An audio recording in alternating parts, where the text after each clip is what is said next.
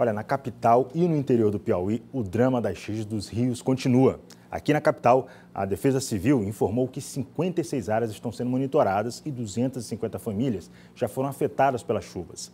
Em Luzilândia, de acordo com a Prefeitura, já são 304 famílias afetadas, o que corresponde a um total de 1.150 pessoas que correm o risco de perder tudo. Além disso, cinco famílias estão desabrigadas e 21 foram desalojadas. Ainda na região norte, 138 famílias do povoado Coroa de São Remígio, em Buriti dos Lopes, estão ilhados com a cheia do rio Parnaíba. Segundo o Major Rivelino, é, do Corpo de Bombeiros, essas famílias não têm para onde sair, porque todas as estradas de acesso à comunidade estão alagadas. Hoje, o Corpo de Bombeiros iniciou o trabalho de retirada de todas elas, que eram essas que vocês estavam aí acompanhando nas fotos. Já em Esperantina, o número de famílias assistidas pela Prefeitura chegou a 140. Somente hoje, 57 famílias foram removidas de áreas de risco.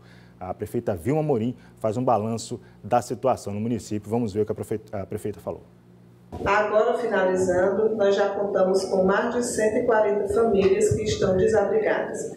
Famílias que foram para as escolas, famílias que estão na casa de parentes, na casa de amigos e famílias que também alugaram um espaço para ficar. O rio subiu muito, agora à tarde a gente já teve uma queda nas águas, que foi mais ou menos de 5 centímetros, mas ainda é de alerta. Continua chovendo e nós continuamos aqui fazendo o controle e o monitoramento de onde as famílias estão e para onde elas estão indo.